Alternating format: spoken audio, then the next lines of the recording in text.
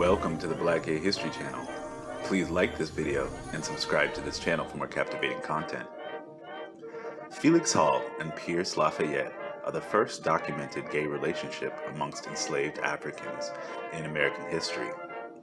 Pierce Lafayette was a former slave who, by incredible means, had attained the ownership of a two story home in Hancock, Maryland.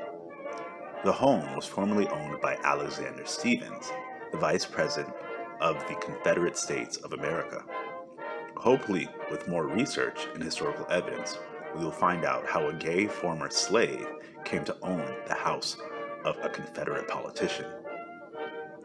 Pierce Lafayette must have been the partner perceived by their community as the partner with power and social status, because Felix Hall would gain the nickname Lafayette's Negro Mistress. What's even more interesting is that even in the 1800s, black gay communities existed.